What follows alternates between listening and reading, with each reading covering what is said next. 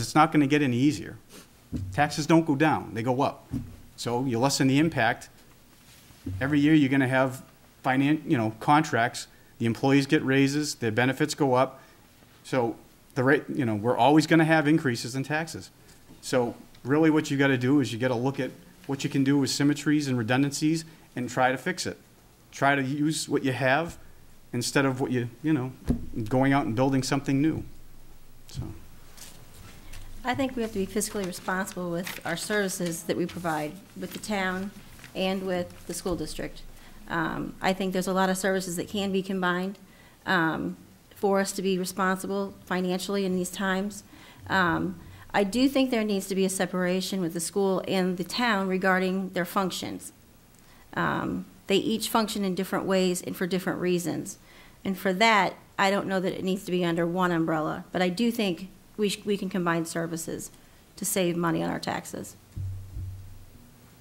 I think as a council member, I would want to look at ways to combine things. Uh, $90 million budget for the town, between the school and the town, that's pretty healthy budget. That's more than some businesses deal with on a yearly basis. It's, it would be prudent and very smart to always be looking at ways to combine services uh, and resources.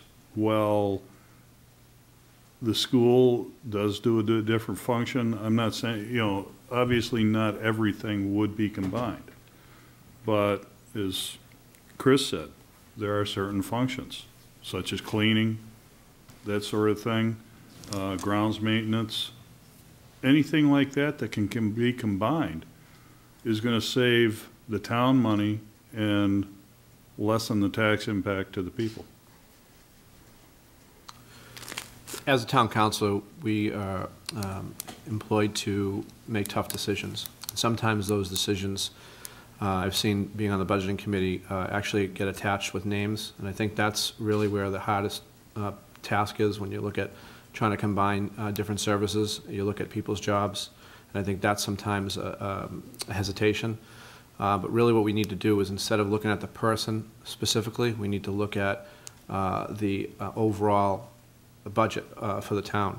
And when I looked at the budget, I saw that there were uh, many areas uh, that could be combined. Um, There's always a cause and effect to that, though. So when we uh, go to combine that, we have to have the vision to take a look and see what actually would happen when we combine it. As an example, softwares. Uh, One of the things that we, that we had looked into was uh, combining some of the uh, financial aspects of the two. And uh, it came back that the software was different, so they couldn't do it. Well, buy new software, get it all on one. Uh, These are, these are easy things to do. But the cause and effect to that uh, would prob, would, would actually show that you would have a great savings in payroll uh, overall. So um, I'm often combining services whenever, um, whenever it makes sense. Well, I think when you say something like that, I think it's very broad. Uh, It's easy to put something out and say, we want to combine this with this, and it's going to save us some money. Well, how? And I've watched the town council meetings for a couple of years now, and a lot of times people present these things, and they just don't have enough information in them. To make- Everybody just, you know, it's going to save us money, and that's all there is to it, and that's all they hear they did this for a reason. The school and the town have two separate things. You combine them together, one could degrade the quality of the other. It's hard to say, these were our children. Do you want to put a price tag on the education of the children? Thank you. I'll ask the next question, and then I will go to Mr. Bill Gilman of Derry News for the following question. My question to the consul candidates, and we'll begin with Mr. O'Keefe, is the following. There are a number of warrant articles being presented to the voters.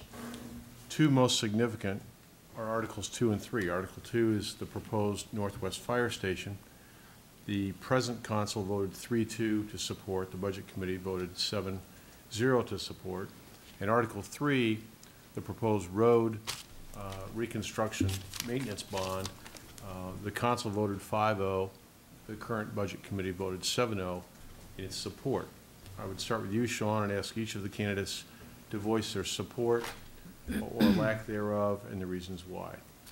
Thanks, Mark. Um, Well, having been on record for the last two years with the Budget Committee supporting the fire station, um, I think it's a necessity. Um, We're to the point now with that particular building that it's a liability more than it is an asset.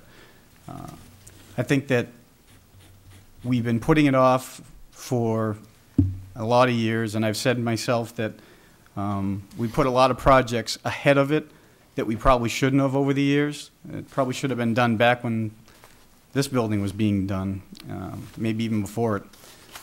So I supported it then, I still support it. I realize that it's a tough pill to swallow when we're looking at possibly reducing what we, uh, you know, what we get for state aid for 1.5 million is the rumor that uh, Governor Lynch is looking at uh, possibly cutting out of Londonderry's aid. Um, So, I mean, it's a tough decision, but I think that with the amount of bonds that we have that are getting close to maturing, we could probably afford it. The, uh, the $1 million bond, as far as the road reconstruction, I think this year I would probably pass on it. Um, Main reason I would probably do that is because of the fact that, you know, I think that the only, the only thing I have a problem with that the council didn't do was we didn't leave ourselves a buffer like we have in the past. Uh, So I, I wouldn't have, if I was sitting on the council then, I, I completely disagreed with that, that part of what they did. Normally, if the voters say no to a, a bond of that size, there's at least something in the budget that they can, you know, use, so that there's something in the budget. And from what I understand, um, I think that they didn't leave anything this year. So I think that was a mistake on the council's part. Uh, But I don't support uh, the up or down of the 1 million. I think that was a mistake, but at this point, I wouldn't support it. But I would support the fire station. I think they both go hand in hand with our infrastructure. I think the infrastructure is important for the access road. Um, if you look at the capital improvement plan, it's a great plan. It's from 2010 to 2015. It will give us an opportunity for growth and jobs and revenue into the town, which will eventually lower our taxes, hopefully, during this tough time. And I think they're essential to maintain the infrastructure of our roads and the fire station for that northern tier there so that we can get some business in here. Uh, I would definitely support Article Two, of the North Fire Station. Um, As Sean said, we, we put it off way too long. It is a health and safety issue at this point. It does go hand in hand with our economic development. If we're gonna develop the airport area, uh, and the access road. Companies that are coming in and looking at us, this fire station is gonna be supporting that area as a first response. It's also going to be back up to the airport, should anything happens up there. So it's a key to our economic development. Uh, The road maintenance fund, again, that is part of our infrastructure. Um, We need to take care of our roads, our intersections. Uh, We all drive around town, there's some roads that especially this year, are taking some pretty good hits due to the weather. And I've worked for several years with Giannis, and he does a superb job, and he pinches every penny till it squeaks. So if he feels he needs that much money, he's generally got some pretty good reasons. Well, I think uh, it's already on record uh, on the budgeting committee uh, this year, and I've already voted uh, both uh, in the positive for these two. And the reason why I did was uh, a lot of what you said, Dave, um, Dana. It is basically a um, piece of economic viability to the Nor- North Station, to act, the access road, um, the airport access road in Pettingill. Uh, I believe that uh, when we're marketing ourselves out there to big companies, um, knowing that the state has identified that area as uh, one of the biggest economic uh, areas in the state, uh, we have to be ready to service that. Uh, And even putting that aside, if- if you're not even going for that end of it, you should take a tour. I Took a tour, looking around at the areas that, with mold growing.